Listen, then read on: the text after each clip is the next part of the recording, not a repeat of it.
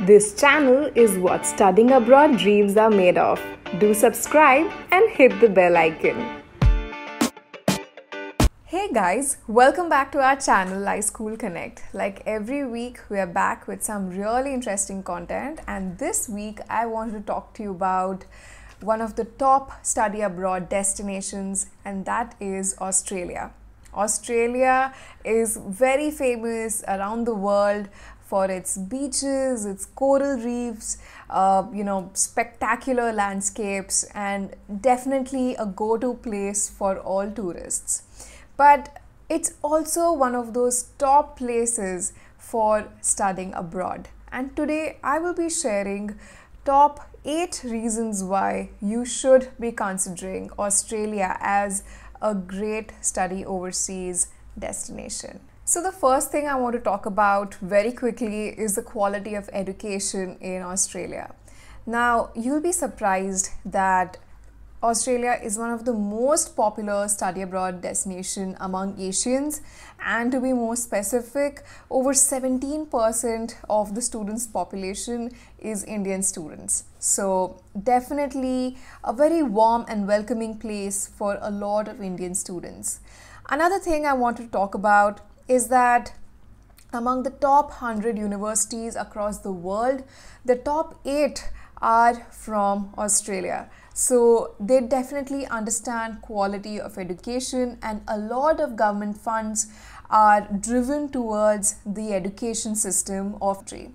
And to add to that, I want to tell you guys about the uh, style or the education, uh, you know, style, and that is that a lot of what is taught is research oriented, right? So what that does is it adds a lot of uh, experience and hands-on understanding to students and it definitely creates a lot of character in whatever you study. The next thing I wanted to talk about is lifestyle and culture. Now, Australia is one of those multicultural countries where literally every fourth person is a person who is, you know, from a different nationality. And that is how much they welcome people from across the world. And in terms of the people who are there and uh, you know the citizens of the country they're very relaxed and friendly people so if you ever walk into a place uh, over there you will be welcomed and you will be spoken to as if you're almost their friend right so people of, over there are extremely warm and comforting. Few other interesting things about the culture is that since people are so friendly uh, professors are actually uh, professors actually expect students to call them by their first name so instead of sir or madam or professor xyz you will be calling them billy joe or whatever their name is and another really interesting thing about australia is that they take their work life balance very seriously. So, if you're a student studying over there and then you want to transition towards working in Australia, rest assured that you will be in a place that respects your personal life and respects the fact that you want to manage both and balance both peacefully and in harmony. The next thing I want to talk about is the places to visit. Now, Australia is so rich in terms of landscape and everything that it has to offer for people who are traveling and exploring that it's a must for you as a student to check out at least a few places. I will see if I can add a few pictures on the screen and uh, you guys can look at some of the most spectacular things that Australia has got to offer. Right from its coral reefs, you can go for a scuba diving or uh, you know snorkeling and uh, you can travel across the deserts. There's absolute amazement when you go out there and explore this country. The next thing I want to talk about is the stay back policies of this country. Now, the stay back policies are pretty relaxed when you compare it to other countries around the world. And um, the best thing about Australia is the job opportunities. Australia is one of those countries where it's still flourishing and developing at a rapid rate right? Uh, so, even in terms of the multinationals that are there, there are a lot of top multinational companies that you can apply to, and definitely look at some great uh, job profiles right after you finish your course in Australia.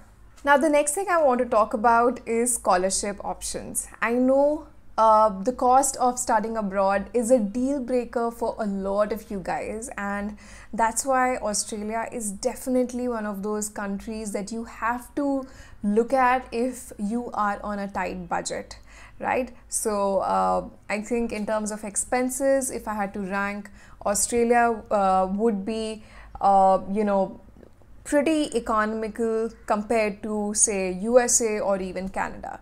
So, definitely consider it from that perspective as well. Another interesting fact is that uh, the, uh, the Australian government sets aside over $200 million each year. Uh, and of course, it's a growing number. So, $200 million each year for students specifically international students who are coming in and are looking for scholarships. Now, these scholarships are both uh, merit based as well as need based. So, definitely check in with the universities that you're applying to, uh, see if there is anything that you are eligible for.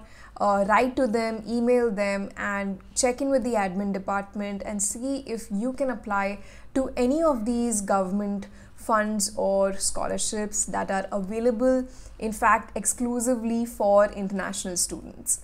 Another thing that definitely adds up to Australia's profile is the language. Now, 75 to 80% of Australia is English spoken. So, if you are a student traveling from a different country, then uh, it's a lot easier for you uh, if of course you know english and you've you've studied in english all your life uh, because you will be transitioning into a country that is english spoken now unlike countries like germany or russia where you are expected to learn the language over there right of course learning in a new language altogether and something so complex because you would be picking up something for your ma- masters or your bachelors and learning in a new language, which again you are learning, is going to be super difficult. So, again, a plus point if you're looking at Australia. But before I finish this point off, let me tell you that Australian colloquial Australian is very different and the local slang is very different from the regular English uh, that's used from maybe maybe in uh, US or maybe in India. So I would recommend you guys to watch a few Australian series, maybe on Netflix. Uh, MasterChef could be a great way to start off because uh, the more you learn the lingo, the slang that's locally used, the more you'll understand what the people around you are talking about, right? So, definitely keep that in mind. And I think the last thing I want to talk about is choice of subjects. Now, like I already told you guys, uh, Australia has some incredible courses right from an MBA or MS. Uh, there are some amazing things out there. Colleges like the Australian National University have course combinations, have actually over 750 course combinations, and that again shows the uh, you know diversity and robustness of the courses available at the you know education system in Australia. So I think that's pretty much it in terms of what I wanted to discuss briefly about Australia and its education system. So if you are looking at studying in this brilliant country, definitely go ahead. It's a great place to be in both for education and reaping your you know ROI in terms of work and job. So definitely a country you should consider.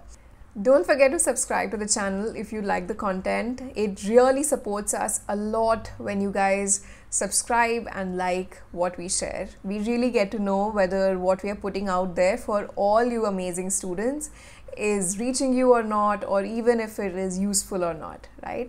So you can even follow us on social media. We are iSchool Connect everywhere. We have a podcast channel. Uh, which is available on Google, Spotify, Apple, pretty much everywhere. It's called Study Abroad Tips. Do check it out. And for anything else, you can always connect with us on our website and our phone number. All the details for all these things are mentioned in the description. Until next time, this is Malvika signing off. Please take care. Bye bye.